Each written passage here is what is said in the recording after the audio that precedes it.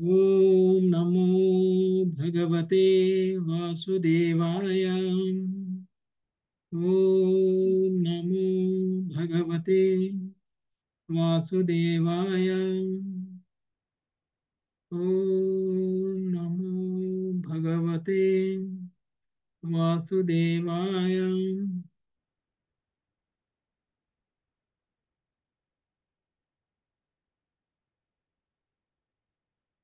హరే కృష్ణ అందరికి వెల్కమ్. శ్రీమద్ భాగవతం ఎనిమిదవ స్కందము ఆరవ అధ్యాయం ఈరోజు స్టార్ట్ చేద్దాం. సో ఇప్పటి వరకు కూడా ఐదు అధ్యాయాలు కంప్లీట్ చేసుకున్నాము. దేవతలకు ఉన్నటువంటి పరిస్థితిని నుంచి కాపాడడం కోసం బ్రహ్మదేవుడు దేవతలను తీసుకుని క్షీరసాగరం వరకు వెళ్ళిపోయి అక్కడ ఉన్నటువంటి క్షీరోదక సాయి విష్ణువుకి ప్రార్థన చేయటము అనేటువంటిది జరిగింది. సో ఆ ప్రార్థనలు పూర్తి అయిన తర్వాత మనకి అక్కడ ఏం జరిగింది? విష్ణు భగవానుడు ఏ విధంగా స్పందించారు అనేటువంటిది మనం ఈ రోజు అధ్యాయంలో చూద్దాం. సో దేవతల యొక్క ప్రాబ్లమ్ సాల్వ్ చేయడానికి విష్ణు భగవానుడు ఇచ్చినటువంటి సలహా ఏమిటి? ఇవన్నీ కూడా మనం ఈ రోజు అధ్యాయంలో చూద్దాం. సో ముందుగా ఈ యొక్క ఆరవ అధ్యాయం సమ్మరీ ఒకసారి ఇచ్చారు. రెండు పారాగ్రాఫ్లు అది ఒకసారి చదువుకుందాం. ఉషశ్రీ మత చదవండి మత ఒకసారి.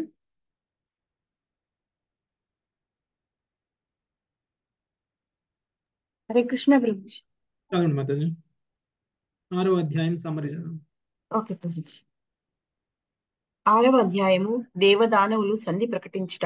దేవతలు ప్రార్థించగా భగవానుడు వారి ఎదుట ప్రత్యక్షమైన వైనము ఈ అధ్యాయంలో వివరింపబడినది. ఆ దేవదేవుని ఆదేశానుసారము దేవతలు సముద్రము నుండి అమృతమును చిలుకుటకై దానవులతో సంధి చేసుకునిరి. దేవతలు కావించిన ప్రార్థనలు గడిచిన అధ్యాయమున వర్ణింపబడినవి. వానిచే దేవతల ఎడ ప్రసన్నుడైన క్షీరోదక సాయి విష్ణువు వారి ఎదుట ప్రత్యక్షమయ్యను. భగవంతుని దివ్య దేహ తేజము తేజముచే దేవతలు కనులు మిరుమిట్లు గొల్పగా దాదాపు దేనిని చూడజాలని వారేరి. దాని నా తొలుత వారికి భగవానుడు ఏ దేహాంగము గోచరింపలేదు. భగవానుని ఏ దేహాంగము గోచరింపలేదు. కాని కొంత తడవుకు బ్రహ్మదేవునికి దృష్టి గోచరం కాగా శివునితో కూడి అతడిట్లు ప్రార్థింపదొడిగెను బ్రహ్మదేవుడు పలికెను. జనన మరణాన్ని జనన మరణాతీతుడై నందున భగవానుడు శాశ్వతుడు. భౌతిక గుణరహితుడైన అతడు అపరిమిత కళ్యాణ గుణసాగరుడు. అతడు సూక్ష్మమైన దాని కన్నను అతి సూక్ష్మమైన వాడు అగోచరుడు అచింత్యమైన రూపము కలవాడు అయి ఉన్నాడు. దేవతలందరకు అతడు ఆరాధ్యుడు. అసంఖ్యాకములకు విశ్వములు అతని ఎందే నెలకొని ఉన్నవి. కనుక అతడు ఎన్నడూ దేశకాల పరిస్థితులచే ఆ విశ్వమునకు వేరుగా లేడు. అతడే ప్రముఖుడు ప్రధానుడు అయి ఉన్నాడు. అతడే ఈ భౌతిక సృష్టి యొక్క ఆది మధ్యాంతములు అయినప్పటికీ ఆ మాయావాద తత్వవేత్తలు భావించడి సర్వేశ్వరవాదము అర్థరహితమైనది అక్రమమైనది. అతడు ఈ సమస్త జగత్తును తన అధీ అని అధీనములోనున్న బాహ్య శక్తి అనగా మాయ ద్వారా నియంత్రించును. తన అచింత్యమగు దివ్య స్థితి కారణమున అతడు ప్రకృతికి సదా ప్రభువై ఉండును. అతడు వివిధ రూపములలో ఈ భౌతిక జగత్తునందే ఉన్నప్పటికీ భౌతిక గుణములు అతనిని అతనిని తాకజాలవు. అతని ఉపదేశముల భగ అనగా భగవద్గీత ఎందు ఒసగబడినవి ద్వారా ఉపదేశముల ద్వారానే ఎవ్వడైనను ఆ దేవదేవుని స్థితిని తెలుసుకున్న జాలు తెలుసుకున్న జాలును దదామి బుద్ధి యోగం తం అని భగవద్గీత పదవ అధ్యాయము పదవ శ్లోకం నందు ఇలా తెలుపబడినది. బుద్ధి యోగం అనగా భక్తి యోగమే కేవలము భక్తి యోగ విధానముననే మనుజుడు దేవదేవుడైన శ్రీకృష్ణ భగవానుని తెలుసుకొనగలడు. ఆ రీతిగా బ్రహ్మ రుద్రులు ప్రార్థించినంతటా దేవదేవుడు ప్రసన్నుడై దేవతలకు యుక్తమగు ఉపదేశములను ఒసగెను. దానవులతో సంధి కావించుకొనమనియు ఆ తరువాత దేవదానవులు కలిసి క్షీరసాగర మదనము కావించవచ్చుననియు అజితుడు భగవానుడు దేవతలకు ఉపదేశించెను. ఆ సముద్ర మంథన కార్యమునకు మహాసర్పముకు వాసుకి త్రాడు కాగా మందర పర్వతము కవ్వము కాగలదు. సముద్ర మంథనము వలన హలాహలము కూడా ఉత్పన్నము కాగలదు. దానిని శివుడు గ్రహించును కనుక ఆ విషయమున భయపడ అవసరము లేదు. మంద మంథనము వలన అనేకములకు ఇతర ఆకర్షణీయ వస్తువులు ఉత్పన్నమైనను దేవతలు వానిచే మోహితులు కారాదని భగవానుడు హెచ్చరించెను. అంతేకాక ఏదేని కలత కలిగినప్పుడు వారు ఆగ్రహమునకు కూడా గురి కారాదు ఈ రీతిగా దేవతలకు ఉపదేశించిన పిదప భగవానుడు అంతర్ధానము చెందెను. దేవదేవుని ఆదేశానుసారము దేవతలు దానవరాజైన బలితో సంధి చేసుకునిరి. తదనుగుణముగా దేవదానవులు మందర పర్వతమును సముద్రము చెంతకు తీసుకుని పోసా పోవసాగిరి. కాని దాని బరువును మోయజాలక వారందరూ మిగుల అలసిపోయిరి. వారిలో కొందరు మరణించిరి. అప్పుడు గరుడ వాహనారూఢుడగు విష్ణు భగవానుడు అచట ప్రత్యక్షమై తన కృపావీక్షణముచే దేవదానవులను బ్రతికించెను. పిదప అతడు తన చేతితో ఆ పర్వతమును ఎత్తి గరుడుని మూపుపై నుంచి దానిపై అధిరోహించగా పక్షిరాజు ఆ పర్వతమును సముద్రము చెంతకు తీసుకొని వెడలి నీటి మధ్యన నిలిపెను. గరుడు ఉన్నంత వరకు వాసుకి అచ్చటకు రాజాలడు కనుక భగవానుడు అప్పుడు దానిని ఆ ప్రాంతమును వీడుమని పలికెను. ధన్యవాదాలు ప్రభుజీ. హరే కృష్ణ. ఓకే. సముద్ర మంతనం గురించి సలహా ఇచ్చేశారు విష్ణు భగవానుడు. విష్ణు భగవానుడు ప్రసన్నమైన తర్వాత విష్ణు భగవానుడు దర్శనం ఇచ్చిన తర్వాత శివుడు ఏ విధంగా స్పందించారు? ఆ తర్వాత భగవంతుడు ఏం సలహా ఇచ్చారు అనేటువంటి విషయాన్ని తెలియజేస్తున్నారు. సో అంతా ఇప్పుడు ఏదైతే సమ్మరీ చదివామో అది మనకి డీటెయిల్డ్గా మనకి ఒక్కొక్క శ్లోకంలో ఏముంది అనేటువంటిది మనము చూద్దాము. సో మొదటి శ్లోకం. సునీత మాతాజీ. శ్రీ. శుకౌవాచ. श्री सुखवाच एवं स्तुतः सुरगणैर्भगवान् हरिरीश्वरः। एवं स्तुतः सुरगणैर्भगवान् हरिरीश्वरः। तेषाम् तेषाम् तेषाम् आविरभूत् राजन् सहस्रार्कोधयद्युतिः तेषामाविरभूद् राजन् सहस्रार्कोदयद्युतिः भावम्। శ్రీ సుఖదేవ గోస్వామి పలికెను. పరీక్షిన్ మహారాజా దేవదేవుడు దేవదేవుడగు శ్రీహరి ఆ విధముగా బ్రహ్మాది దేవతలచే స్తుతింపబడిన వాడై వారి ఎదుట ప్రత్యక్షమయ్యను. అతని తే దేహ తేజము వేల కొలది సూర్యులు ఒకే మారు ఉదయించినచో కలిగిడి తేజమును పోలి ఉండెను హరే కృష్ణ. ప్రభుజీ. సో విష్ణు భగవాను దర్శనం చేసుకోవడము అనేటువంటిది సామాన్యమైనటువంటి విషయం కాదు. దేవతలకు కూడా విష్ణు భగవానుడి దర్శనం అనేటువంటిది చాలా అరుదుగా దొరికేటువంటిది. అందుకనే ఎప్పుడైతే కృష్ణుడు ద్వారకకి వచ్చారో అప్పుడు ద్వారకావాసులు చేస్తున్నటువంటి ద్వారకావాసుల ద్వారకావాసుల యొక్క స్పందన ఎలా ఉందో చూడండి. ద్వారకావాసులతోటి కృష్ణుడు నిరంతరం ఉంటారు. ద్వారకావాసుల యొక్క సాంగత్యం ద్వారకావాసులు అందరూ కూడా కృష్ణుడి యొక్క సాంగత్యంలో ఉంటారు. కానీ దేవతలకు కూడా దొరకనటువంటి అరుదైనటువంటి అవకాశం ద్వారకావాసులకు దొరికింది. కాబట్టి ద్వారకావాసులు అయితే ఏం వృందావన వాసులు అయితే ఏం దేవతల కంటే ఉన్నతమైనటువంటి వాళ్ళు. అందుకనే వాళ్ళకి ద్వారకావాసులకి దేవతల కంటే కూడా అవకాశం ఎక్కువగా ఉంది. భగవంతుడితోటి వాళ్ళు పార్షదులుగా ఉండేటువంటి వాళ్ళందరూ కూడా భగవంతుడి పార్షదులు. దేవతలు భగవంతుడి యొక్క భౌతిక విషయంలో నియమింపబడినటువంటి వాళ్ళు. కాబట్టి దేవతల కంటే కూడా ముఖ్యమైనటువంటి స్థితిలో పొజిషన్లోనే ఉన్నటువంటి వాళ్ళు. అయితే ఇక్కడ సుఖదేవ గోస్వామి పరీక్ష మహారాజుకి తెలియజేస్తున్నటువంటి విషయం ఏమిటి అని అంటే ఎప్పుడైతే భగవంతుడు స్తుతింపబడ్డారో బ్రహ్మతోటి రుద్రులతోటి బ్రహ్మ రుద్రాదులతోటి అంటే దేవతలందరితోటి స్థుతింపబడ్డారో అప్పుడు వాళ్ళ ఎదుట ప్రత్యక్షం అవడం అనేటువంటి జరిగింది. వాళ్ళ ఎదుట ప్రత్యక్షమైనటువంటి భగవానుడు దేహ తేజం ఎలా ఉంది అని అంటే ఆ దేహ తేజం వలన కళ్ళు ఏమీ కనిపించట్లేదు. అలా ఉందన్నమాట. అంత ఎక్కువగా. మనం కూడా చూడండి సూర్యుడి యొక్క వెలుగును చూసిన తర్వాత మరి ఏది చూసినా కానీ మనకేమీ కనపడదు ఇంకా కొద్దిసేపటి వరకు. అలాంటి విధంగా వాళ్ళ యొక్క కళ్ళు మారిపోయాయి. వాళ్ళు ఎవరూ కూడా ఇంకేమీ చూడలేనంతగా అంత దేహం యొక్క తేజస్సు ఉంది అని చెప్తుంది నెక్స్ట్ రెండవ శ్లోకం. హైమవతి మాతాజీ. తేనైవ సహస సర్వే దేవా ప్రతిహతే క్షణ. తేనైవ సహసా సర్వే దేవ ప్రతిహతే క్షణా నాపశ్యంకం దిశ క్షౌమి క్షౌణీం ఆత్మానం చ కుతో విభుం నాపశ్యంతం దిశ క్షౌణి ఆత్మానం చ కుతో విభుం హరే కృష్ణ ప్రభు దండాలు భగవాన్ తేజముచే దేవతల దృష్టి ప్రతిహతము కాగా వారు ఆకాశమును గాని దిక్కులను గాని పృథ్వీని గాని చివరకు తమను గాని కాంచలేకపోయింది. ఇక తమ ఎదుట ఉన్న భగవానుని వారు చూచుట అనే విషయమును కూర్చి వేరుగా చెప్పున ఉన్నది హరే కృష్ణ భగవంతుడి యొక్క శరీరం నుంచి వచ్చినటువంటి వెలుగు వలన ఆ వెలుగు కళ్ళల్లో పడడం వల్ల ఆ కళ్ళకి ఇంకేవి చుట్టుపక్కల పరిసరాల్లో కూడా ఏవి కనపడట్లేదు. దిక్కులు తెలియట్లేదు ఆకాశం తెలియట్లేదు వాళ్ళను వాళ్ళు కూడా చూసుకోలేకపోతున్నారు. మరి అలాంటి పరిస్థితులు ఆ వెలుగు వల్లనే అలా జరిగితే ఆ వెలుగు వెనకాల ఉన్నటువంటి భగవానుని చూడటం అనేటువంటిది ఎలా సాధ్యమవుతుంది? అది సాధ్యం కాదు. అందుకని చాలా మంది వాళ్ళ యొక్క జ్ఞాన పరిధి అనేటువంటిది నిరాకార బ్రహ్మం వరకే ఉంటుంది. నిరాకార బ్రహ్మాన్ని దాటి వాళ్ళు ఇంకా మించి వాళ్ళు ఆలోచన చేయలేరు చూడలేరు. కాబట్టి వాళ్ళ యొక్క జ్ఞానము అనేటువంటిది నిరాకారమే అత్యుత్తమమైనది అని అనుకుంటారు. నిరాకార బ్రహ్మానికి కూడా మూలమైనటువంటి భగవానుని వాళ్ళు ఎప్పటికీ కూడా దర్శనం చేసుకోలేక నిరాకార బ్రహ్మమే పరమసత్యము అనేటువంటి భావంలో ఉంటారు మాయావాదులు. కాబట్టి ఇక్కడ భగవంతుని కే దర్శనం చేసుకున్నటువంటి దేవతలకే భగవంతుడు కనిపించట్లేదు. ఆయన అంత వెలుగు ఉందన్నమాట. నెక్స్ట్ రామారావు ప్రభుజీ. హరే కృష్ణ. విరించో భగవాన్ దృష్ట్వా సహ శర్వేణ తాం తను. విరించో భగవాన్ దృష్ట సహసర్వేణ తాం తమం. స్వచ్ఛామరకతశ్యామాం కంజగర్భారుకే కంజగర్భారుణే క్షణం.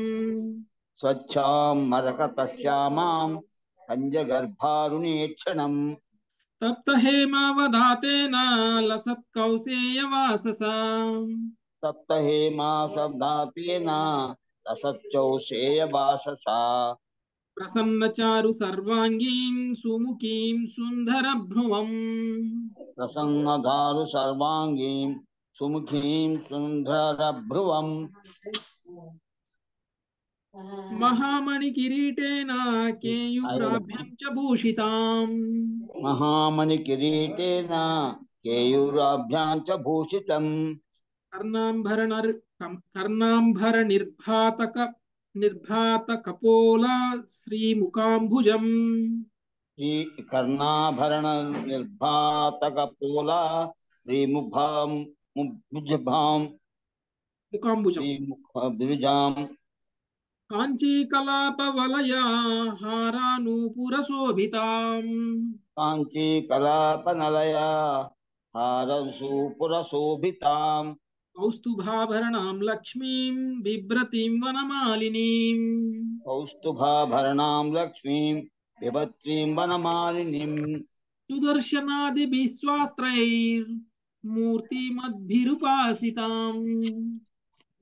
सुदर्शनाभिः मूर्ति मूर्तिमद्धिरुतासिताम्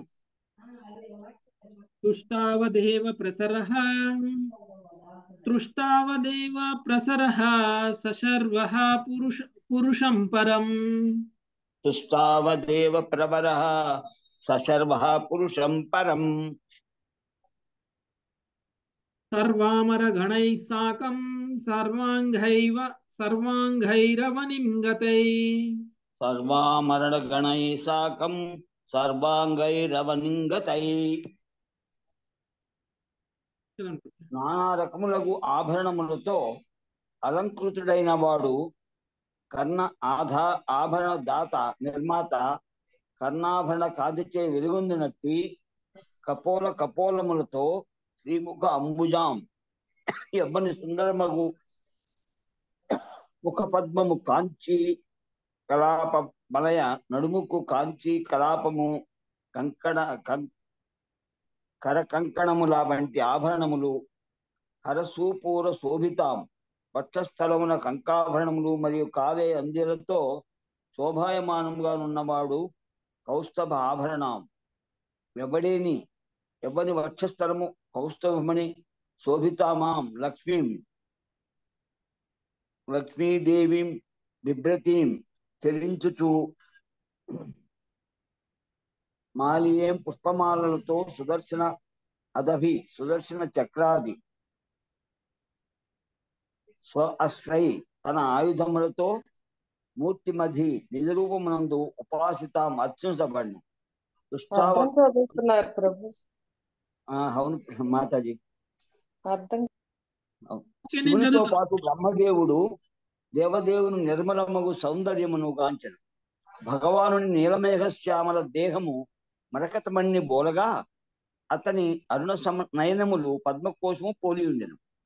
కరిగిన బంగారు వంటి పీత వసనమును దాల్చిన అతని సమస్త దేహము ఆకర్షణీయముగా అలంకృతమై ఉండెను. మణిమండిత కిరీట శోభితము సుందర దర్హాసపూర్ణమునైన ముఖ కమలమును వారు గాంచిరి. ఆకర్షణీయము కనుబొమ్మలు కలిగిన భగవానుని కపోలములు కుండల శోభితములై ఉండను బ్రహ్మరుద్రులు భగవాను నడుముకు ఉన్నట్టి కాంచి కలాపమును కర కంకణములను వక్షస్థలము పైన కంఠాభరణములను కాలి అందరును గాంచిరి భగవానుడు పుష్పమాలను ధరించి కౌస్తభాభరణం భరణం భూషితులై లక్ష్మీదేవిని గదచక్రాది ఆయుధములను కూడి ఉండెను. బ్రహ్మ రుద్రాది దేవతలు ఆ విధముగా భగవంతుని గాంచినంతనే సాష్టాంగ దండ ప్రణామం కావించింది. హరే కృష్ణ ప్రభుజీ. హరే కృష్ణ. సో భగవంతుడు దర్శనం ఇచ్చారు. భగవంతుడి యొక్క రూపం గురించి వర్ణిస్తున్నారు ఇక్కడ.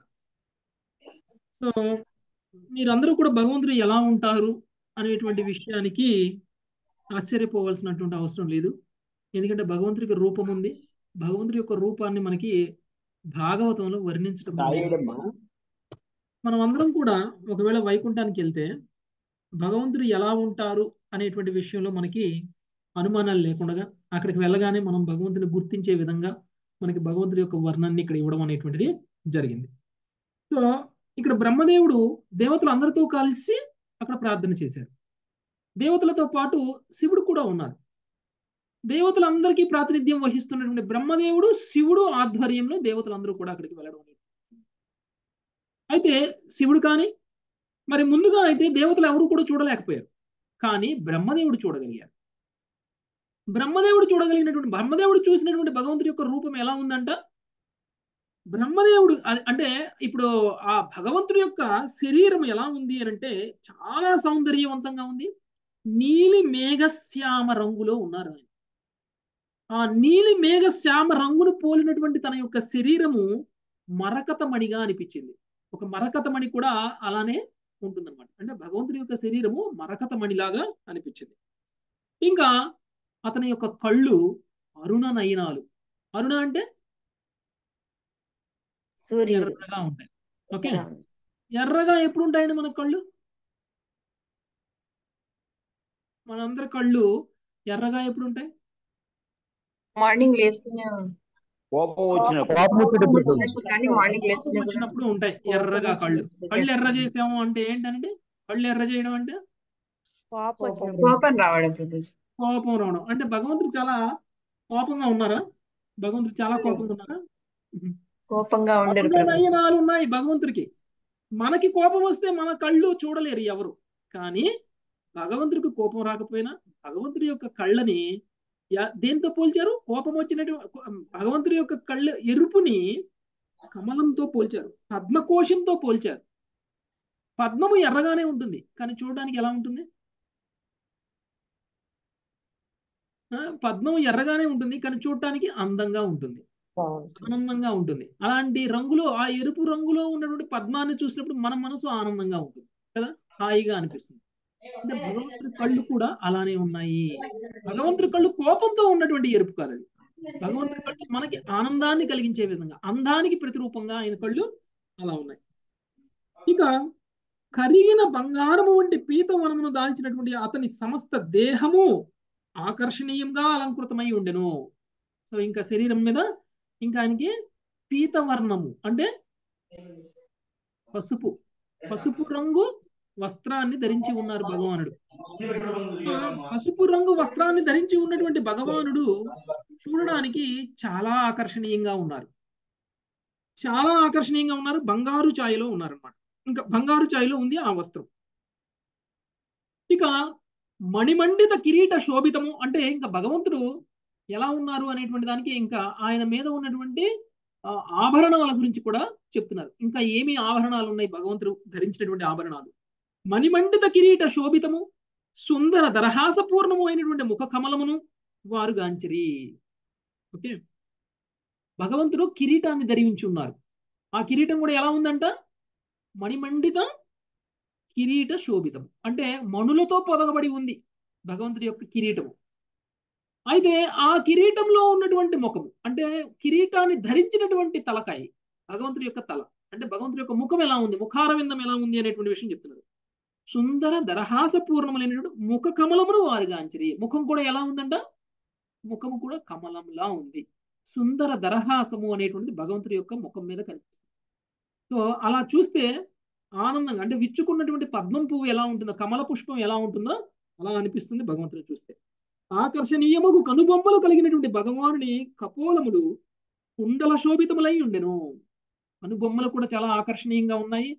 కపోలములు అంటే చెవులు. చెవులు ఎలా ఉన్నాయంట? కుండల శోభితములై ఉన్నాయి. అంటే కర్ణకుండలాలు పెట్టుకుని ఉన్నారు భగవంతుడు. బ్రహ్మరుద్రుల భగవానుని నడుముకు ఉన్నట్టి కాంచీ కలాపమును కరకంకణములను వక్షస్థలముపైని కంఠాభరణములను కాలి అందిలను గాంచిరి. ఇంకా బ్రహ్మరుద్రులు ఇంకేం చూశారు? భగవంతుల్లో ఆయనకి ఆయన నడుముకు ఉన్నటువంటి వడ్రాణము తర్వాత వక్షస్థలానికి ఉన్నటువంటి కంఠాభరణము తర్వాత చేతులకి కట్టుకున్నటువంటి కంకణాలు. చేతులకి కూడా కంకణాలు ఉన్నాయి. సో ఈ విధంగా కాలికి అందెలు కూడా ఉన్నాయి. భగవానుడు పుష్పమాలను ధరించి ఆయన పుష్పమాల దివ్యమైనటువంటి పుష్పమాలను ఎప్పుడు ధరించి ఉంటారు భగవానుడు? ఆయన పుష్పమాలను ధరించి కౌస్తుభవన భూషితమైనటువంటి భూషితుడై లక్ష్మీదేవిని గతచక్రాది ఆయుధములను కూడి ఉండను. లక్ష్మీదేవి కూడా ఉన్నారు ఆయన పక్కన. ఇంకొక ముఖ్యమైనటువంటి విషయం ఏమిటి అని అంటే కంఠాభరణములను ధరించారు తర్వాత కౌస్తుభమణిని ధరించారు. ఇది ఒకటి భగవంతుడు మాత్రమే కలిగి ఉండేటువంటి ఒక ఐశ్వర్యం. కౌస్తుభమణి అనేటువంటిది వైకుంఠ లోకంలో అందరి మెడల్లో ఉండదు. కేవలం విష్ణు భగవానుడి మెడలోనే కౌస్తుభమణి ఉంటుంది. మనం యాక్చువల్గా సారూప్య ముక్తిని పొందినటువంటి ప్రతి ఒక్కళ్ళు కూడా వైకుంఠ లోకంలో ఉంటారు. వాళ్ళందరినీ చూస్తే విష్ణు భగవానుడికి సారూప్య ముందు ముక్తి పొందినటువంటి విష్ణు పార్షదులకి మధ్య తేడా ఏం కనపడదు మనకి. ఈవెన్ ఈవెన్ మనకు అజామిలుడి గురించి స్టోరీ విన్నప్పుడు అజామిలుడి దగ్గరికి విష్ణుదూతలు వచ్చారు. విష్ణుదూతలు ఎలా ఉన్నారు? ఆయన చూస్తే విష్ణుదూతలను చూస్తే విష్ణువునే పోలి ఉన్నారు. విష్ణువులాగానే ఉన్నారు. వాళ్ళని చూసినా విష్ణువుని చూసినా ఏం తేడా కనిపించదు. అలా ఉంటుంది. అంటే వాళ్ళకి నాలుగు చేతులు ఉంటాయి వాళ్ళు పీత పీత వస్త్రాన్ని వేసుకుంటారు. వాళ్ళు కూడా కిరీటాన్ని పెట్టుకుంటారు. వాళ్ళు కూడా కర్ణకుండలాలను పెట్టుకుంటారు. వాళ్ళు కూడా చేతులకి కడియాలు ఉంటాయి అన్నీ ఉంటాయి. కానీ ఉన్నది ఏంటి? విష్ణు పార్షదులకి విష్ణువుకి మధ్య తేడా ఏమిటి? అని అంటే కౌస్తుభమణి. మొదటి తేడా. ఓకే? కౌస్తుభమణి ధరించి ఉంటారు భగవంతుడు. అందుకనే మనం ఎప్పుడైనా వైకుంఠానికి వెళ్తే కన్ఫ్యూజ్ అవ్వద్దు. ఎవరిని పడితే వాళ్ళని చూసి విష్ణువు అని అనుకోవద్దు. కేవలం కౌస్తుభమణి ధరించినటువంటి వాళ్ళు మాత్రమే విష్ణువు విష్ణువుని గుర్తించడానికి ఇది ఒక మనకి క్లూ. తరువాత లక్ష్మీదేవి భూషిత్ర లక్ష్మీదేవిని గతచక్రాది ఆయుధములను కూడియుండెను అంటే నాలుగు చేతుల్లో నాలుగు ఆయుధాలు ఉన్నాయి పక్కన లక్ష్మీదేవి కూడా ఉన్నారు. బ్రహ్మరుద్రాది దేవతలు ఆ విధంగా భగవంతుని గాంచినంతనే సాష్టాంగ దండ ప్రణామం చేసిరి. భగవంతుని దర్శనం చేసుకున్న తరువాత మొట్టమొదటిగా భక్తుడు చేయాల్సినటువంటి పని ఇది. సాష్టాంగ దండ ప్రణామం చేయాలి. సాష్టాంగ దండ ప్రణామం చేయకుండా భక్తిని ఎలా ప్రదర్శిస్తారు? భగవంతుడికి సర్వస్వ శరణాగతి అనేది ఎక్కడ చూపిస్తారు? మనకంటే భగవంతుడు ఉత్తముడు అనేటువంటి విషయాన్ని మనం ఎలా ప్రదర్శించాలి? కేవలం ఆయన ముందు చేతులు కట్టుకొని నిలబడితే సరిపోదు. మన ముందు ఎవరైనా వచ్చి చేతులు కట్టుకొని నిలబడితే లేదంటే మన ముందు ఎవరైనా కాళ్ళ మీద పడిపోతే తేడా ఏంటి అన్నట్టు? మనల్ని మన వాళ్ళ దృష్టిలో మనకి ఎలాంటి గౌరవం ఇస్తున్నారు అనేటువంటిది మనల్ని చూసిన తర్వాత అవతల వాళ్ళు ప్రవర్తించేటువంటి ప్రవర్తన బట్టి మనకు తెలిసిపోతుంది. వాళ్ళు చూసి కూడా గా చూసి చూడనట్టున్నారా? అదొక రకమైనటువంటి గౌరవం. చూసి కూడా పలకరించకుండా ఉండడం అదొక రకమైనటువంటి గౌరవం. చూసి జస్ట్ పలకరేయడం అది ఇంకొక రకమైనటువంటి గౌరవం. చూసి మరి నమస్కారం చేయడం అదొక రకమైనటువంటి గౌరవం. చూసి జస్ట్ నమస్కారంతో పాటు గౌరవంగా వచ్చి ఆలింగనం చేసుకోవడం అదొక రకమైనటువంటి గౌరవం. మరి ఇక్కడ బ్రహ్మ కానీ శివుడు కానీ ఇస్తున్నటువంటి గౌరవం ఎలా ఉంది?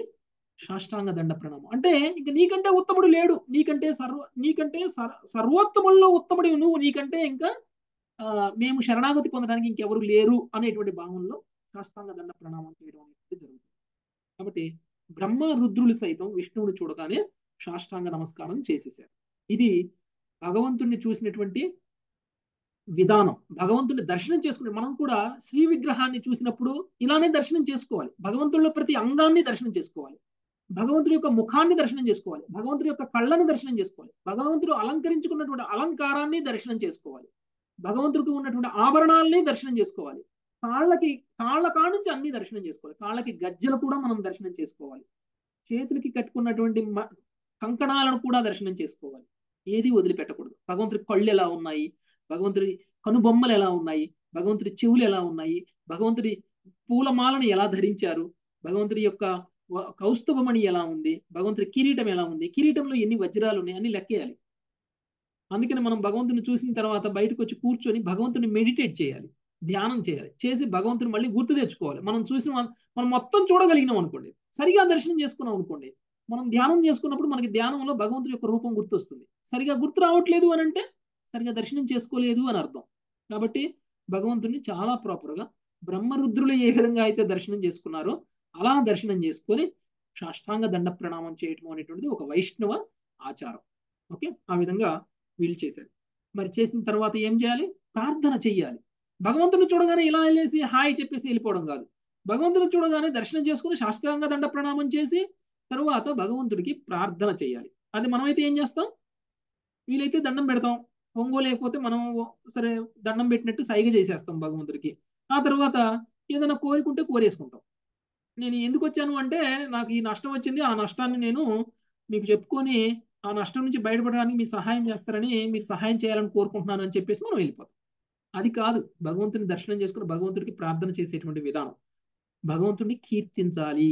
భగవంతుడి ప్రార్థనలో భగవంతుడిని కీర్తించాలి. భగవంతుడి యొక్క గొప్పతనాన్ని మనము తెలియచేయాలి బ్రహ్మ దేవతలు అందరూ కలిసి ఇప్పటి వరకు కూడా భగవంతుడు కనపడక ముందే భగవంతుడిని కీర్తించేశారు. భగవంతుడి యొక్క గొప్పతనం మొత్తం చెప్పేశారు. ఇక భగవంతుడు కనిపించిన తర్వాత ఇంకెందుకు అవుతారు వాళ్ళు? అందుకని బ్రహ్మదేవుడు అక్కడ దేవతలందరికీ కూడా నాయకుడుగా బ్రహ్మదేవుడు ఇప్పుడు మాట్లాడబోతున్నారు. భగవంతుని చూసినటువంటి సంతోషంలో భగవంతుని దర్శనం చేసుకుని సాష్టాంగ దండ ప్రణామం చేసిన తర్వాత బ్రహ్మదేవుడు మాట్లాడుతున్నారు. ఏం మాట్లాడుతున్నారో చూద్దాం. నెక్స్ట్ మళ్ళీ శ్రీమతి శ్రీ బ్రహ్మ ఉవాచ శ్రీ బ్రహ్మోవాచ. అజాత జన్మ అజాత జన్మ స్థితి సంయమాయ. అజాత జన్మ స్థితి సంయమాయ గుణ గుణాయ నిర్వాణ సుఖార్ణవాయ నాయ నిర్వాణ సుకర్ణవాయ అరోరణిమ్నే అపరిగణ్వధామ్నే అణో అణోరణిన్నే పరిగణ్యధామ్నే మహానుభావాయ నమో నమస్తే అనుభావాయ నమో నమస్తే బ్రహ్మదేవుడు పలికెను నీవు జన్మరహితుడు అయినను నీ అవతార ఆవిర్భావ అంతర్ధానములు ఎన్నడను నిలిచిపోవు. భౌతిక గుణ రహితుడు నీవు దివ్యానంద సాగరుడు దివ్య రూపమున సదా నెలకొని ఉండిన వాడివైన నీవు అతి సూక్ష్మము కన్నను పరమ సూక్ష్మ సూక్ష్మమైన వాడువు. కనుక అట్టి అచింత్యమగు స్థితిని కలిగి ఉన్న నీకు మేము నమస్కరించుచున్నాము. ప్రభుపాదుల వారి భగవద్గీత నాలుగు పాయింట్ ఆరు యందు శ్రీకృష్ణ భగవానుడు ఇట్లు పలికెను. అజోపి సన్నం వ్యవ్యాత్మ భూతానామీశ్వరోపి సన్ ప్రకృతిం స్వామధిష్టాయ సంభవ్య సంభవాత్మ్యాత్మ మయాయయా జన్మలేని వాడివైనను నా దివ్యదేహమును దేహమును నశింపన నశింపనదైనను. సకల జీవులకు ప్రభువైన ఆది అయిన దివ్య రూపములతో నిన్ను ప్రతి యుగమునందును అవతరించును భగవద్గీత అందలి తర్వాత శ్లోకములో నాలుగు పాయింట్ ఏడు నందు దేవదేవుడు ఇట్లు పలికెను. యదా యదా హి ధర్మస్య గ్లానిర్భవతి భారత అభ్యుద్ధానమ ధర్మస్య తదాత్మానం సృజామ్యహం. ఓ భారత ఎప్పుడెప్పుడు ఎచ్చట ఎచ్చట ధర్మమునకు హాని కలుగునో అధర్మము వృద్ధి చెందునో ఆ సమయమున నేను అవతరించును అనగా దేవదేవుడు జన్మరహితుడైనను. రామాది అవతారములో అతని ఆవిర్భావం ఎన్నడకు నిలిచిపోదు. అతని అవతారములు శాశ్వతములు నిత్యములు. కనుక అటు అవతార కర్మలు కూడా నిత్యములై ఉన్నవి. సాధారణ జీవులు బలవంతముగా ఒకనొక దేహమును అంగీకరింపవలసి ఉన్న వచ్చినట్లుగా భగవంతునికి కర్మానుసారం అవతారముల నుండి గ్రహింపవలసి అవసరం ఉండదు. అతని దేహము కర్మలు త్రిగుణ దూరములు కనుక దివ్యములు అని తెలియబడినవి. ఇటువంటి అటువంటి లీలలు ఆ దేవదేవుని దివ్యానందము కొరకై ఉన్నవి. ఇచ్చట అపరిగణ్య ధామ్య అనే పదము ప్రధానమైనది. అనగా ఈ విధ భగవత అవతారములకు పరిమితియే లేదు.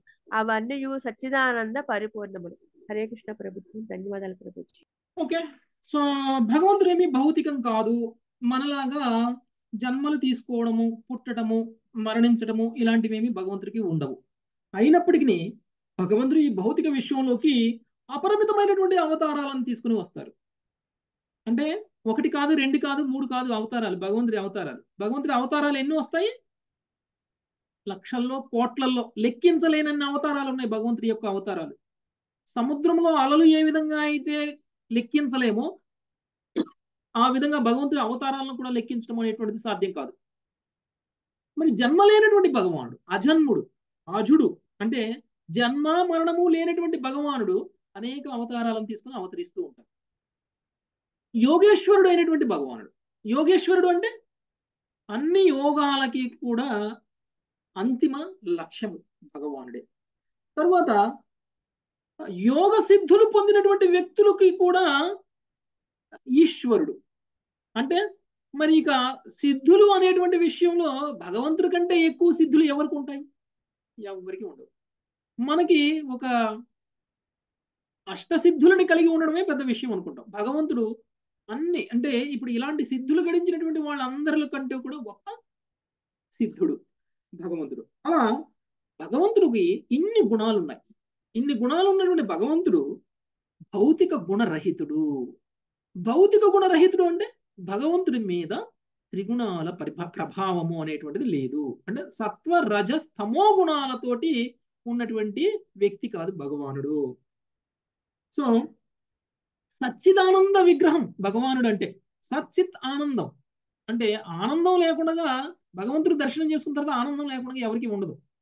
మనసు ప్రశాంతంగా ఉంటుంది. సో అలాంటి భగవంతుడు భగవంతుడిని చూడగానే మనకి కూడా ప్రశాంతత అనేటువంటిది వస్తుంది. సో అచించమైనటువంటి భగవానుడు అంటే ఎప్పటికీ కూడా నశించినటువంటి రూపము భగవంతుడిది. ఇంకొకటి ఎప్పటికీ కూడా తన భక్తులని ఓడిపోనివ్వరు భగవంతుడు. అది కూడా అచించమైనటువంటి భగవానుడికి నిర్వచనము. తన భక్తుల్ని ఎల్లవేళలా కాపాడుతూ ఉంటారు. తన భక్తుల్ని కాపాడటంలో తను కూడా ఓడిపోరు. సో ఆ విధంగా భగవంతుని భగవాను అచించుడు అని అంటారు. సో అలాంటి స్థితిని కలిగి ఉన్నటువంటి భగవంతుడికి వీళ్ళు ఇక్కడ నమస్కారాన్ని తెలియజేస్తున్నారు. సో భగవంతుడి యొక్క అవతారాలకు సంబంధించి ఎప్పుడెప్పుడు భగవంతుడు అవతరిస్తారు అనేటువంటి విషయం మనకి భగవద్గీతలో కూడా వచ్చింది. సో అధర్మం పెచ్చు మీరిపోయినప్పుడు ధర్మం నశించిపోయినప్పుడు భక్తులను రక్షించి దుష్ట శిక్షణ చేయటం కోసం భగవంతుడు అవతరిస్తూ ఉంటారు అనేటువంటి విషయం మనము భగవద్గీతలో కూడా చూసాము ఓకే నెక్స్ట్ తొమ్మిదవ శ్లోకం. అనుపమ మాతాజీ. హరే కృష్ణ రూపం తవైతత్ పురుష పురుషర్షభేజ్యం रूपं श्रेयोर्धिभिर्वैधिक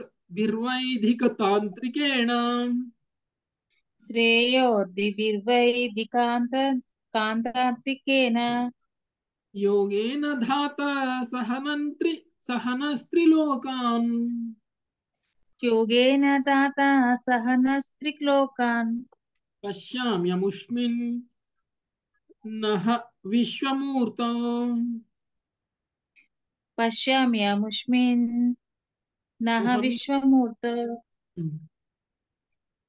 పురుష శ్రేష్ట పరమదాత నిజముగా శ్రేయస్కాలముగు వ్యక్తులు ఈ రూపమును వేద తంత్రానుసారము అర్థిందు దేవా నీ యందు మేము ముల్లోకాలను గాంచగలుగుదుము. భాష్యము. యస్మిన్ విజ్ఞాతే సర్వమేవాం విజ్ఞాతం భవతి అని వైదిక మంత్రము తెలుపుచున్నది. భక్తుడు భగవానుని ధ్యానమున గాంచినప్పుడు లేదా ముఖాముఖి గాంచినప్పుడు విశ్వమునందలి సమస్తమును ఎరుగగలుగును. నిజమును అతనికి తెలియనిది ఏదియును ఉండదు.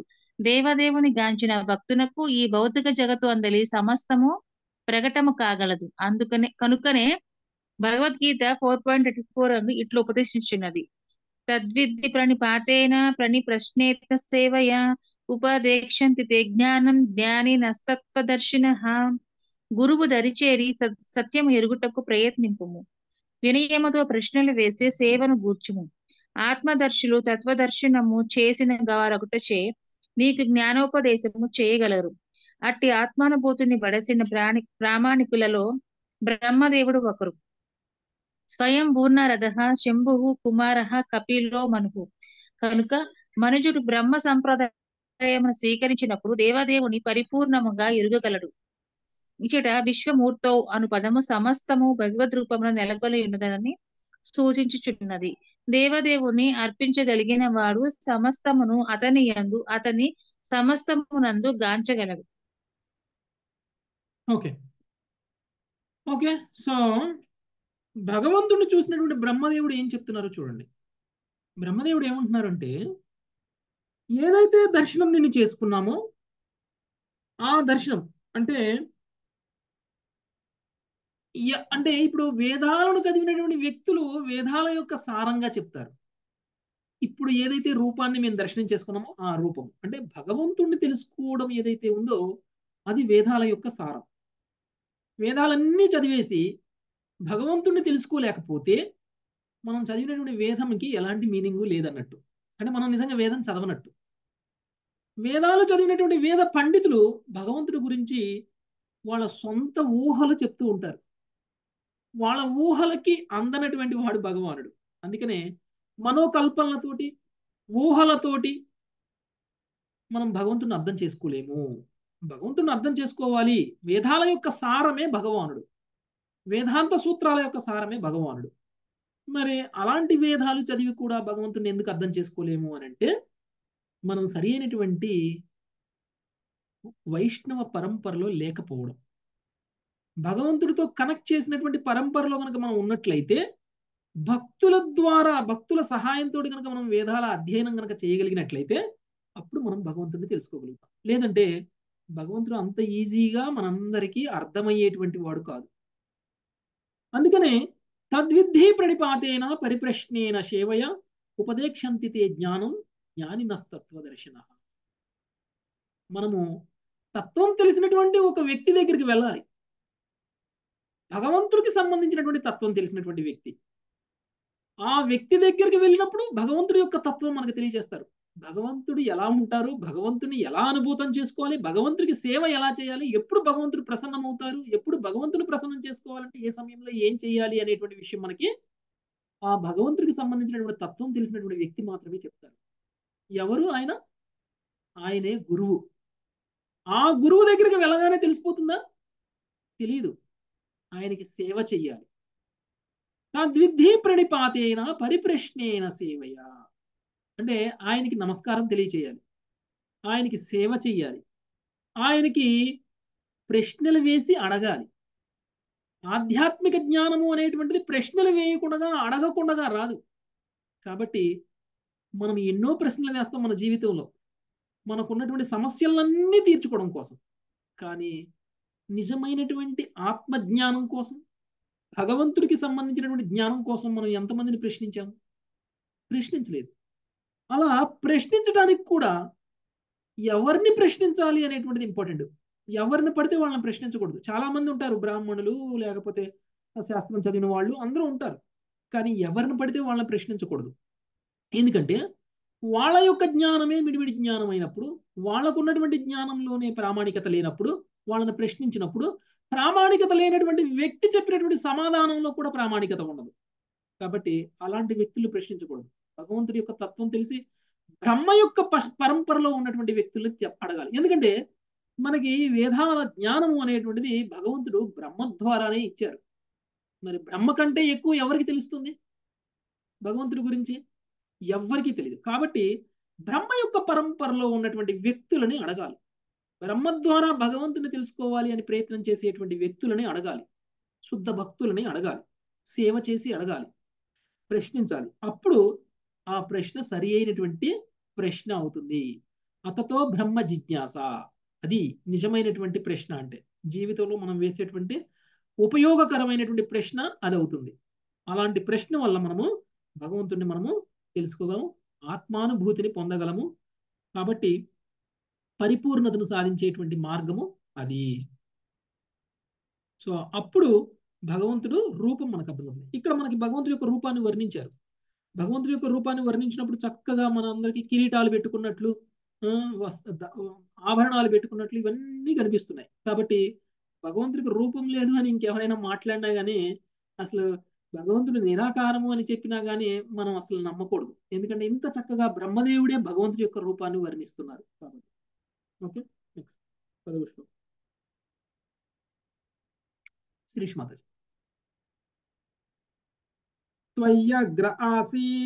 मध्य माता हरे कृष्ण त्वय्यग्र आसीत् त्वयि मध्य आसीत् त्वय्यन्त आसीत् त्वय्यन्त आसीदि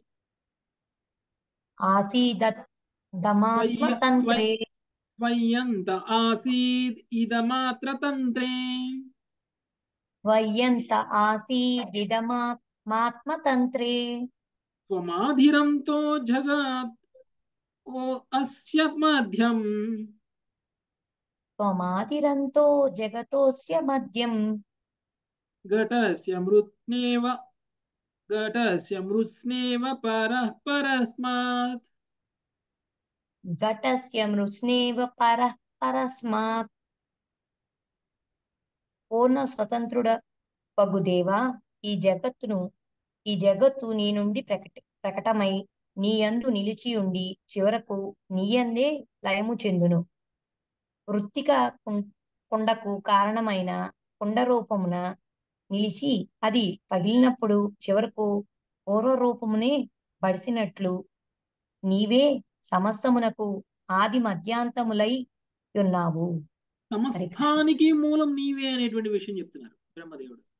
ఏ విధంగా అయితే మట్టి నుంచి కుండ తయారయ్యి కుండంతా కూడా పాడైపోయిన తర్వాత తిరిగి మట్టిలో ఎలా కలిసిపోతుందో ఆ విధంగా ఈ సమస్త విశ్వము నీ నుంచే వచ్చింది. సమస్త విశ్వం నీలోకే వెళ్తుంది. సో సృష్టికి నీవే మూలము లయకి నీవే మూలము అనేటువంటి విషయాన్ని చెప్తున్నారు. సృష్టి స్థితి లయ మూడు కూడా నీ ద్వారానే జరుగుతున్నాయి అని చెప్తున్నారు. నెక్స్ట్ పదకొండవ శ్లోకం. లక్ష్మీ మాతాజీ ఆత్మకూరు లక్ష్మి. త్వం మాయయాత్మా ఆశ్రయా స్వయేదం. త్వమాయమాత్మా ఆత్మాశ్రయామ स्वमेधम् निर्माय विश्वं तदनुष्प्रविष्टा। निर्माय विश्वं तदनुप्रविष्टः। पश्यन्ति युक्ता मनसा मनीषिणो पश्यन्ति युक्ता मनसा मनीषिणो गुणव्यवाव्य మనీషినో గుణ వ్యవాయే అప్యగుణం విపశ్చిత గుణ గుణం విపచ్చిత ఓ పరమపురుష పూర్ణ స్వతంత్రుడవగు నీవు అన్యాశ్రయములను గ్రహించవు సమాయ సమాయచే నీవు ఈ విశ్వమును సృజించి దాని యందు ప్రవేశింతువు। కృష్ణ భక్తి భావన యందు అగ్రసూరులైన వారు ప్రామాణిక శాస్త్ర జ్ఞానమును పూర్ణముగా కలిగి ఉన్నవారు భక్తి యోగాభ్యాసముచే సకల సమస్త స కల్మషముల నశించువారు నైనా. మహాత్ములు నీవు గణపరిణామమునందు ఉన్నప్పటికీ నీ గుణములచే అంటబడని అంటబడని అని నిర్మల మనస్సుతో గాంచగలరు.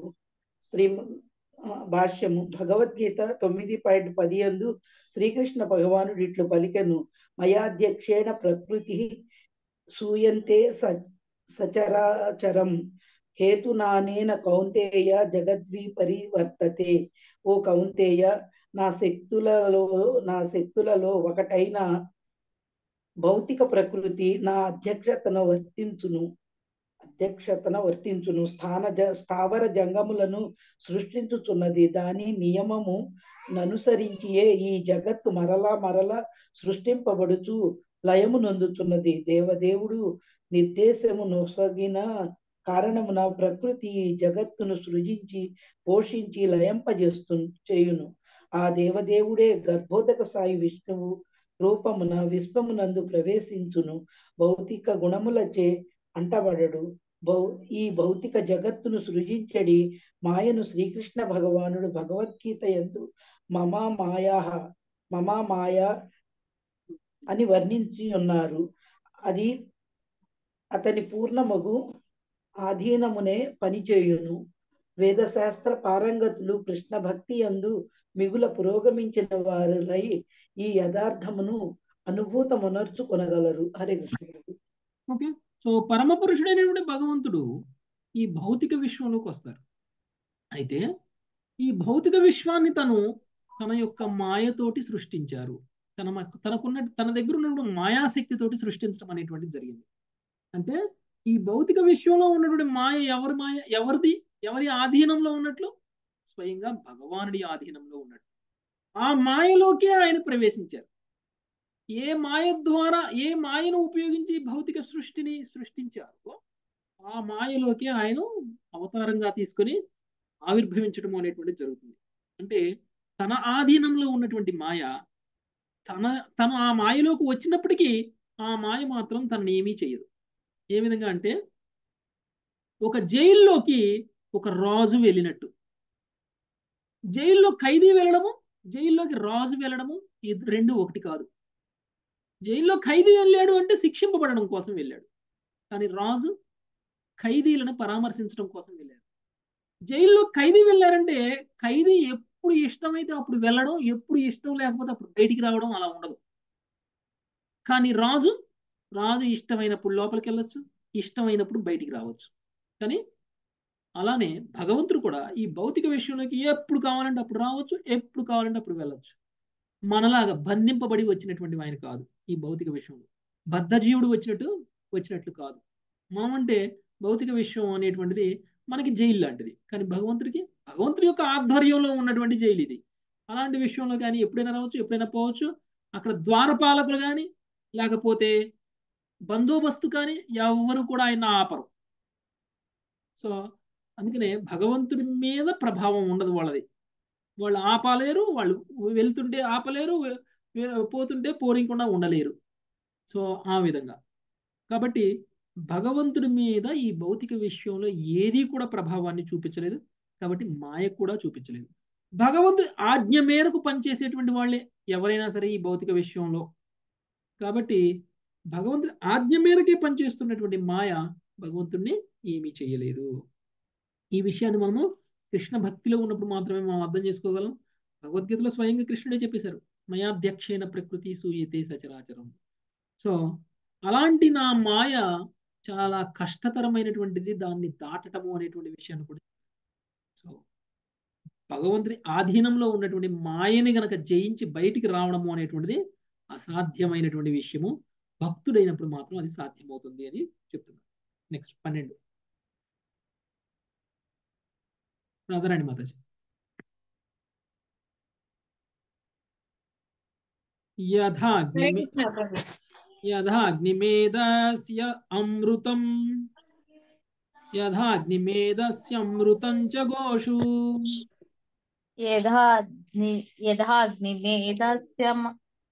अमृतम् च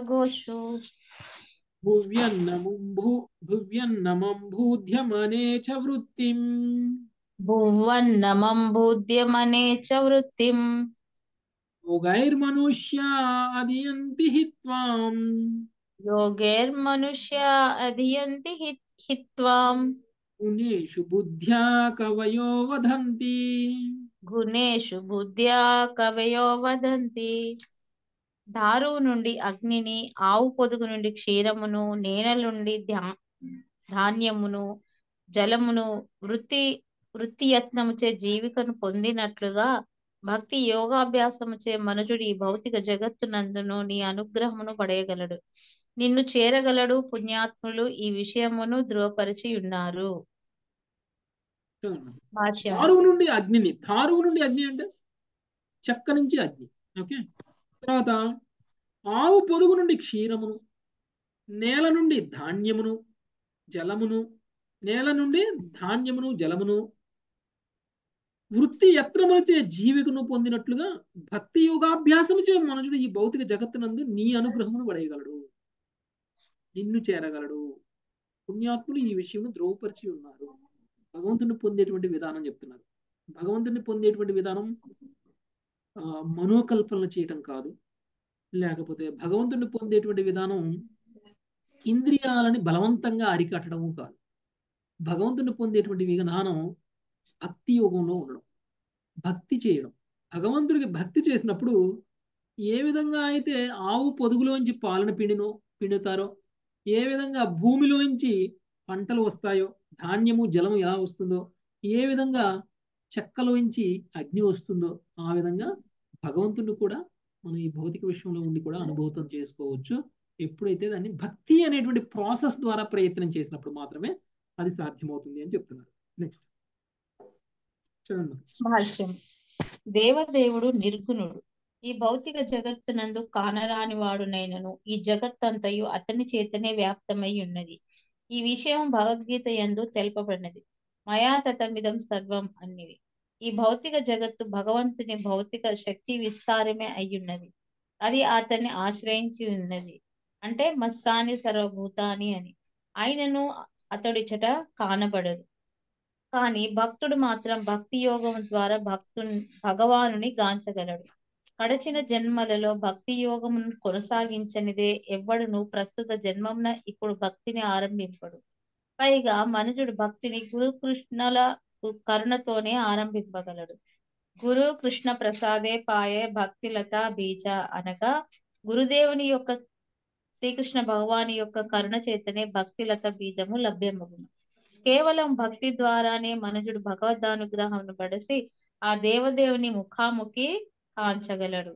అన్నైతే ప్రేమాంజన చర్చిత భక్తి విలోచనేన పంతః సదైవ హృదయేషు విలోకయంతే అని.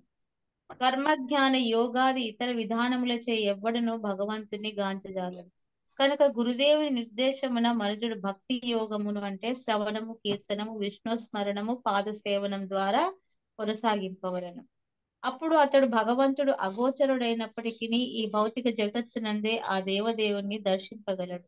ఈ సత్యము భగవద్గీత లో భక్త్య మామా విజానాతి యాస్మి తత్వత అని. యందు శ్రీమద్ భాగవతము నందు ధృవపరపబడినది కనుక భగవానుడు అలౌకికులకు అగోచరుడు అగ్రగిహుడైనను భగవ భక్తి యోగముచే మనుజుడు అతని అనుగ్రహమును పడేయగలడు. ఒక నిమిషం ఒక ఓకే.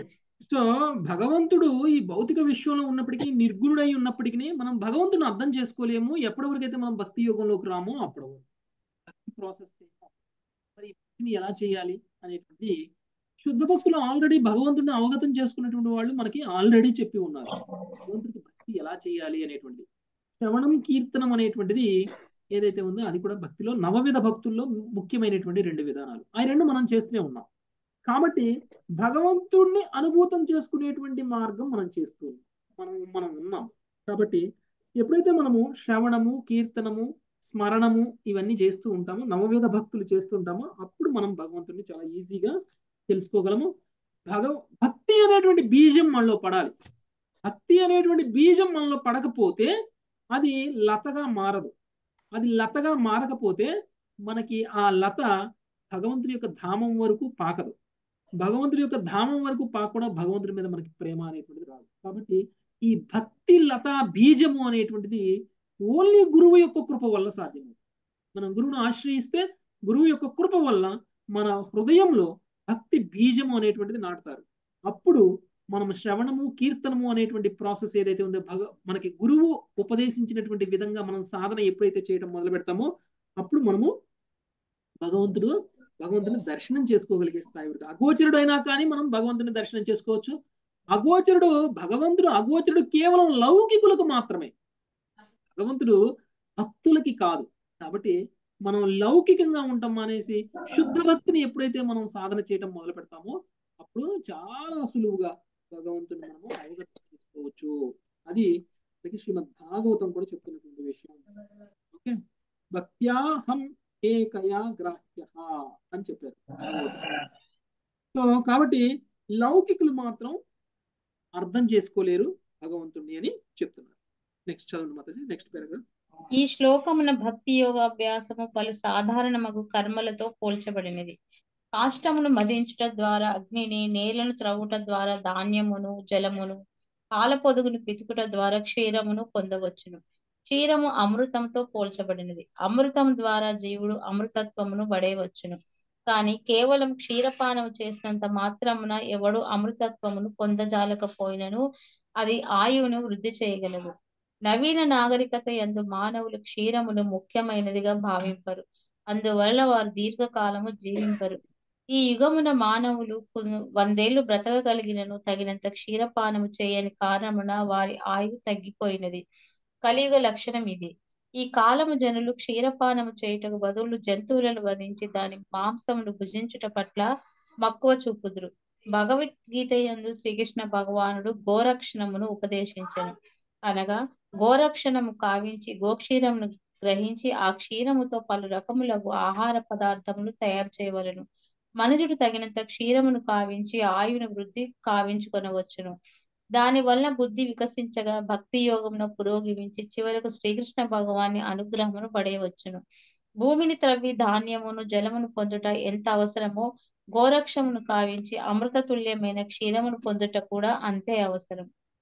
ఈ కాలమున జనులు సుఖమయ జీవనమును పడేటకు కర్మాగారముల వైపుకే ఎక్కువగా మొగ్గు చూపుచున్నారు కానీ జీవిత లక్ష్యమైన భగవత్ ప్రాప్తిని కలగజేసేటి భక్తియుత సేవను నిర్వహించుటకు మాత్రం వారు నిరాకరించారు.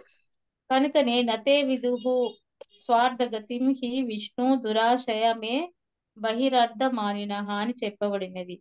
ఆధ్యాత్మిక విద్య లేనట్టి జనులు జీవిత చరమ లక్ష్యము భగవద్ధామమునకు వెలుటయే వెడటయే అని ఎరగరు.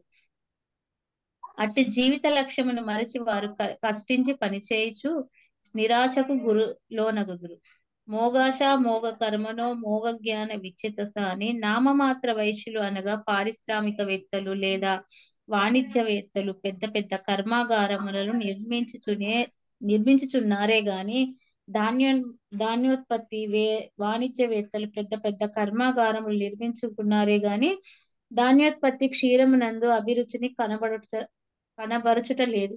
కానీ చెట సుచితమైనట్లు నీటి కొరకు త్రవ్వుట ద్వారా ఎడారి అందైనను ధాన్యమును పండించవచ్చును.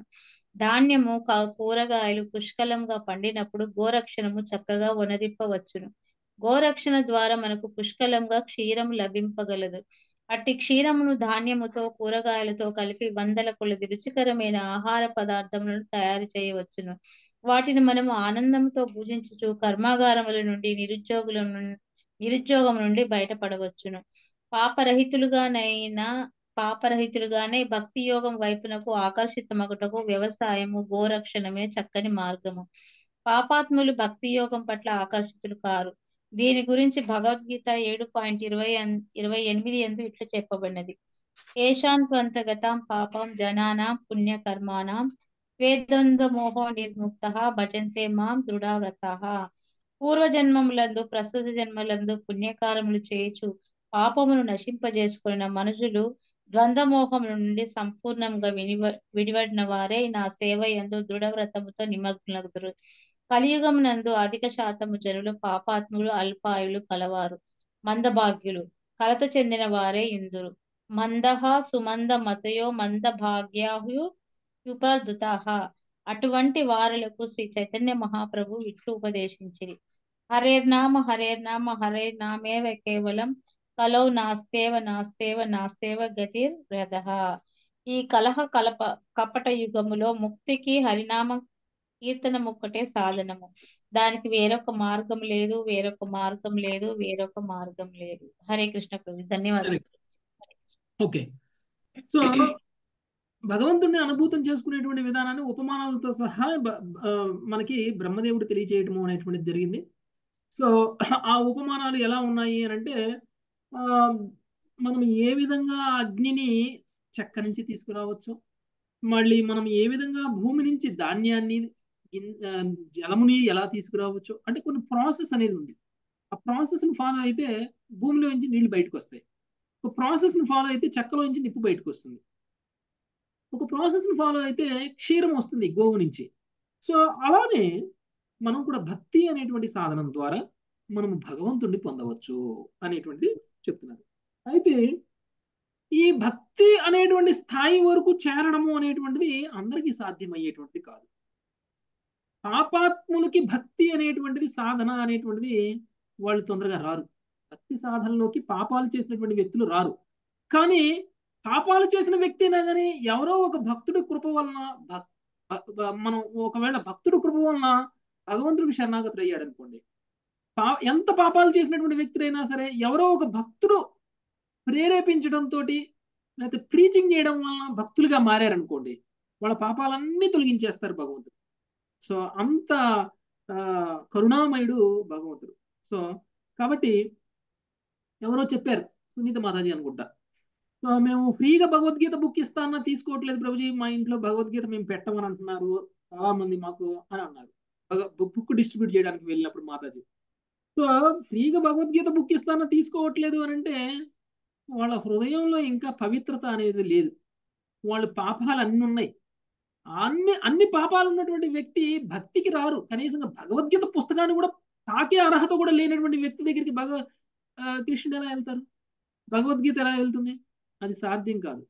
అంటే అది వాళ్ళు వద్దు అని చెప్పడం కాదు. కృష్ణుడు వాళ్ళ దగ్గరికి పోవడం ఇష్టం లేదు అని అర్థం. అలాంటి వాళ్ళు నాకు భగవద్గీత వద్దు అన్నారు కదా అంటే ఇది కృష్ణుడి నిర్ణయం అనుకోని వదిలేసేయాలి మనం. కృష్ణుడు వాళ్ళ దగ్గరికి వెళ్ళి వాళ్ళ వాళ్ళ వాళ్ళ ఇంట్లో భగవద్గీత రూపంలో ఉండడము అనేటువంటిది కూడా భగవద్గీ భగవంతుడి మాటకి భగవంతుడికి ఏం తేడా లేదు. సో అలాంటి పాపాలు చేసినటువంటి వ్యక్తులు భగవంతుడి పట్ల ఆకర్షితులు అవడం అనేది సాధ్యం కాదు. వాళ్ళకి ఆకర్షణ వచ్చిన భగవంతుడి దూరంగా వెళ్తారు కాబట్టి ముందు వాళ్ళు భక్తుల సాంగత్యంలోకి వచ్చి వాళ్ళ పాపాలను కడుక్కోవాలి. అప్పుడు భగవంతుడు వాళ్ళకి హృదయంలో చోటిస్తారు. అంతే తప్ప లేకపోతే సాధ్యం కాదు. వాళ్ళు చాలా భగవంతుడి యొక్క నామాన్ని స్మరించాలి భగవంతుడి యొక్క నామాన్ని జపించాలి అప్పుడు వాళ్ళు పవిత్రం అవుతారు ఈ కలియుగంలో కేవలం భగవంతుడి నామం మాత్రమే మనకి ఆ, ముక్తిని తీసుకురాగలుగుతుంది. కేవలం భగవంతుడి యొక్క నామం మాత్రమే మనల్ని రక్షిస్తుంది అనేటువంటి విషయం మనకి శాస్త్రమే గట్టిగా చెప్తుంది. అందుకని కలియుగంలో కలియుగము కలహ కపట యుగము ముక్తికి హరినామ సంకీర్తనం ఒక్కటే సాధనము. దానికి వేరొక మార్గం లేదు వేరొక మార్గం లేదు వేరొక మార్గం లేదు అని మూడు సార్లు శాస్త్రాలు నొక్కి చెప్తున్నాయి హరినామ మంత్రం గురించి. ఓకే? సో ఇంకొకటి ఆవు పాల గురించి మాట్లాడారు. ఆవు పాలు మనకి ఆరోగ్యాన్ని ఇస్తాయి. ఆవు పాలు మన ఆయుష్ని పెంచుతాయి. ఆవు పాలు మన జ్ఞానాన్ని పెంపొందిస్తాయి. ఆవు పాలు తాగినటువంటి వ్యక్తి తొందరగా సత్వగుణంలోకి వస్తాడు. ఆవు పాలు తాగినటువంటి వ్యక్తి తొందరగా భక్తుడు అవుతాడు కానీ మనము ఆవు పాల కంటే కూడా మాంసం మీద ఇంట్రెస్ట్ చూపిస్తున్నారు జనాలు. అందుకని మనకి భగవంతుడి దగ్గరికి భగవంతుడి దగ్గరికి చేరేటువంటి అవకాశమే ఇలాంటి ప్రవర్తన ఉన్నటువంటి వాళ్ళకి సాధ్యం కాదు. సో ఇంకా ఆవు మాంసం మీద కర్మాగారాలను కూడా సృష్టిస్తున్నారు. సో అలాంటి కర్మాగారాల్లో పనిచేసేటువంటి వాళ్ళకి అలాంటి కర్మాగారాలను నిర్మి నిర్మించినటువంటి వాళ్ళకి భగవంతుడు అనుభూతం అవడం అనేటువంటిది సాధ్యం కాదు అని చెప్తున్నాడు ఓకే? ఇక్కడికి మనము పన్నెండు శ్లోకాలు చదువుకున్నాం. ఇంకొక మూడు శ్లోకాల్లో బ్రహ్మదేవుడు మాట్లాడతారు. ఆ తర్వాత ఆ, భగవంతుడు స్పందిస్తారు. సో ఏం మాట్లాడారు ఇంకా మూడు శ్లోకాల్లో? భగవంతుడు ఎలా స్పందించారు అనేటువంటి విషయం మనం రేపు చూద్దాం మాతాజీ థ్యాంక్ యూ వెరీ మచ్. పంచకల్పతరుభ్యశ్చ కృపా సింధుభ్యేవ చ పతితానం పావనేభ్యో వైష్ణవేభ్యో నమ హరే కృష్ణ ఎవరికైనా ఏమైనా ప్రశ్నలు ఉంటే తీసుకుందాం మదజీస్